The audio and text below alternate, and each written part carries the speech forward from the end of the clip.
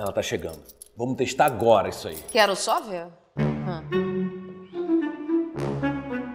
Oi, filha. Ah, vocês ainda estão acordados, né? Estamos. E onde é que a senhorita estava até essa hora? Eu tava na casa de uma amiga estudando. Filha, eu comprei esse robozinho aqui de inteligência artificial. Ele consegue detectar uma mentira pelo tom da voz humana. Não tem como mentir mais. Agora fala a verdade. Onde é que você estava até agora? Eu tava na casa do André assistindo um filme. Agora você está falando a verdade. Que filme vocês estavam assistindo, Luísa? Uma comédia romântica na Netflix. Fala a verdade, Luísa. Tá, era um pornô. Que? Um pornô? Pornô?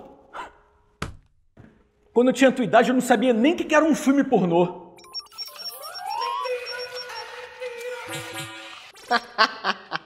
Dois mentirosos, né?